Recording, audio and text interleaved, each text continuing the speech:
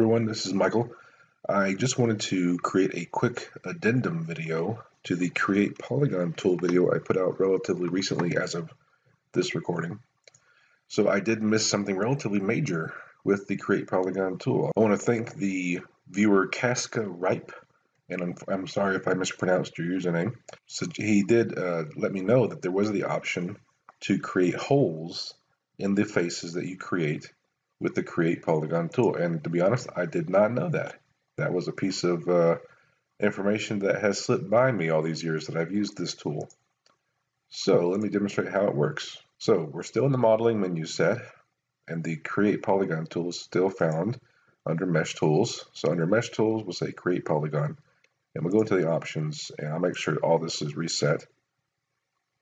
And close that now.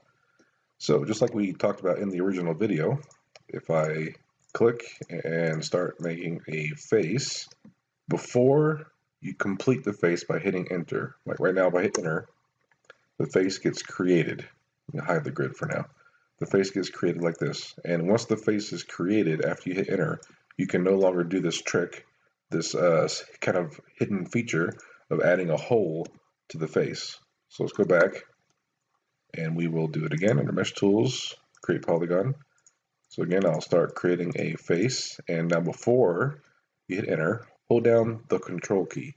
Now once I click once within the face, after holding down control, now release control and then continue to create a hole. And then you can see right there, a hole in the face opens up. And then now once you hit enter, you have a face with a hole in it. So there's always something new to learn for anybody, even someone like me who's been using Maya forever. So thanks very much for uh, letting me know about that feature. That's awesome. Another thing I wanted to bring up, if I hit Control A to open the attribute editor, you can see here there's the poly create face attributes here. So there is a couple things I wanted to show. In the video, if you recall, I was having difficulty with the create polygon tools division setting. If we look at that, mesh tools, create polygon options, we have these div this divisions setting, and there it seems to be bugged. If I increase this up to two, for example, and try to click and drag, you can see there the edge that I'm expecting to make. When I let go, the edge goes back down to this point, and then it gets subdivided. So you can see how it's not very controllable. It's very inaccurate and unreliable whenever you have the divisions increase beyond one. Let me take that back down. I hit the reset. But I did find that in the attribute editor, after you've made the face, if you go to the Poly Create Face tab here in the attribute editor, you can increase the subdivisions here. If I increase this to 2 and right click and choose vertices, you can see all my edges have been subdivided but when I increase that to 2 increase it to 3, and you see they all get subdivided by 3. So that is, I suppose, a workaround for that issue. Let me take that back down to 1 for now. And also you can see here we have a, the vertices list here, and you can see each click that I made and their XYZ coordinates. So you see the Y is all at 0 since it's a flat uh, face on the Y axis. But then you, you see the X coordinate and the Z coordinate here. Yeah, let me uh, actually make a new one. Let's go to Mesh Tools, create polygon, and I'll not worry about the hole in the middle this time.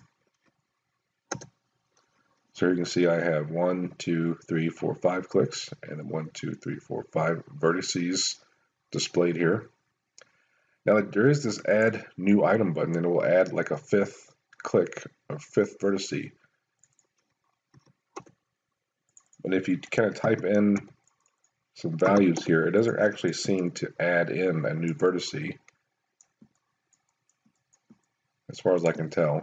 So adding a new item to this list does not seem to actually add a point to the face. However, what you can do is if I control click and drag on these XYZ coordinates, you can move and edit the existing point positions like so.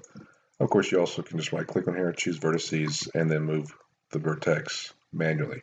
However, you'll notice that when you do that, it does not reflect that change here. This is actually a history item based on where you initially clicked that point and not actually updating to show you the new position of that point after you move it manually.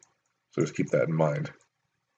But in any case, I wanted to show you that here in the attribute editor, you can increase those subdivisions to uh, get that effect when divisions does not work. And also I wanted to show you how to create the hole in the create polygon face. So yeah, I missed a couple things there. I do try not to miss things. Occasionally it does happen. I don't always see the need to create an addendum if it's something small, but in this case, I did miss quite a little bit here. So anyway, thanks again for watching, and I'll talk to you later.